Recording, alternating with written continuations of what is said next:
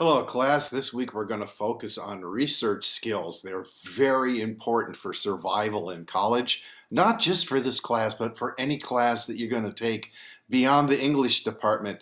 Teachers are going to expect you to know your way around the library, and they're also going to expect that you do not think of research as going to Google or some other search engine as your default. The library is a big part of every college experience. So this week, we do have an exercise called the electronic library exercise, and there's a lot of writing.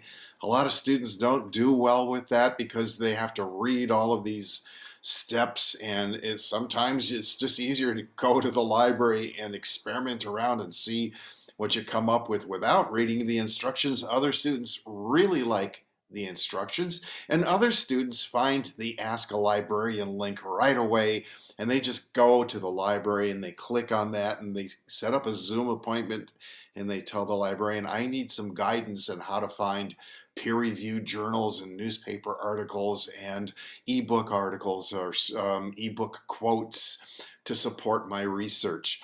You're going to do it on one topic, academic procrastination first, just to get a feel of how the library works. Hopefully, after that, you'll have some skills and you'll also be um, pretty close to deciding what your own research paper topic is going to be.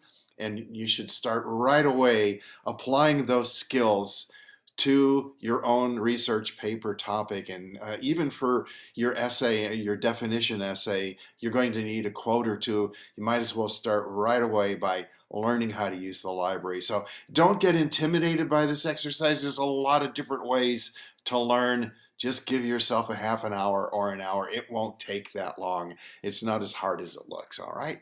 Enjoy it. Approach it like a treasure hunt and have some fun, okay?